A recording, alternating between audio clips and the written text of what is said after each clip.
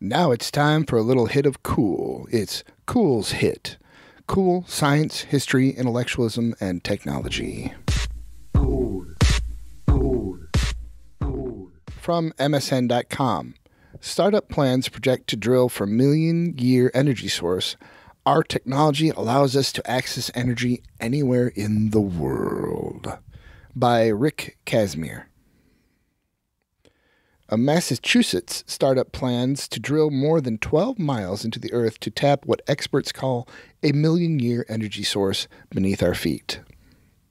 A press release from Quaise Energy detailing the $40 million the company has secured to help implement the aggressive geothermal project, which is a result of research completed at the Massachusetts Institute of Technology.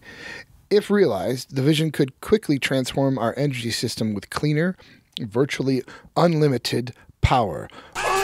Unlimited power!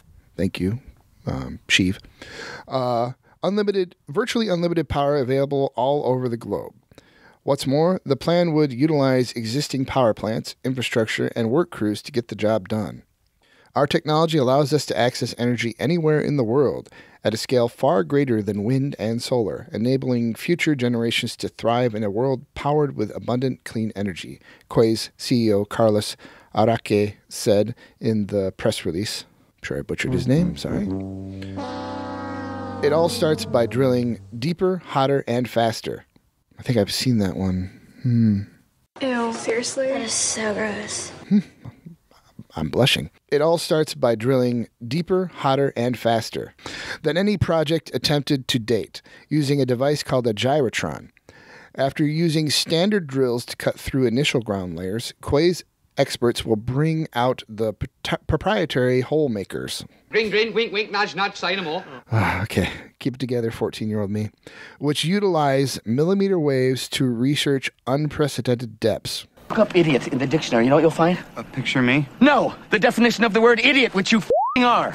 On the other end, a dozen miles down, temperatures will hit 932 degrees Fahrenheit.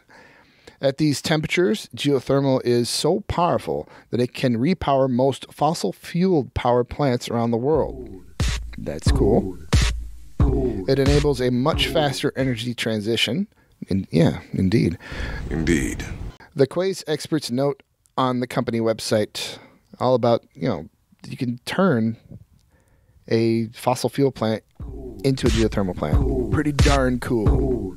Furthermore, the company's team claims it can reemploy oil and gas crews in an effort to produce energy with little to no waste. Reemployment of possibly out of work people is also awesome.